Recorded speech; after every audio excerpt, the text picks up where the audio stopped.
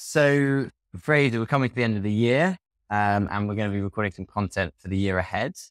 Um, maybe to start off with, could you tell us a little bit about yourself and um, where where cheqd started and came from? Cool. Yeah. Uh, so hi, uh, Fraser, CEO of cheqd. Um, yes, as of about two and a half years ago, which is feels strange. Um, but um, I guess prior to founding cheqd or co-founding cheqd, um, I was a consultant at Accenture for about six or seven years, bounced around various different technologies. So biometrics, AI, uh, blockchain, even network infrastructure, so like switches and routers, that kind of thing. Um, and then my final couple of years at Accenture was spent a mix of like central bank digital currency work, so doing cross blockchain payments and self sovereign ID. Um, that was kind of how I fell down the rabbit hole.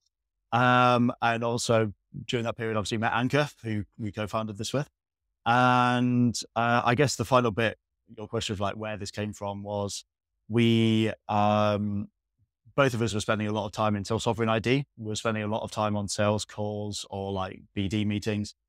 And pretty consistently, that we were hitting the same problems. Everyone loved the paradigm. They loved the idea of people owning their data, the user experience, that whole, all of that together.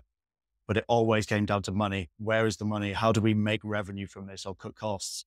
And there wasn't an answer. And after I think six to nine months of like consistently hearing that and knowing inside Accenture being willing to go and solve it, um, we did the classic entrepreneurship thing of um, deciding it, decided to do it ourselves. So um, yeah, and that was two and a half years ago, and that was the I guess the the starting moment of cheqd or Verim as it was briefly known.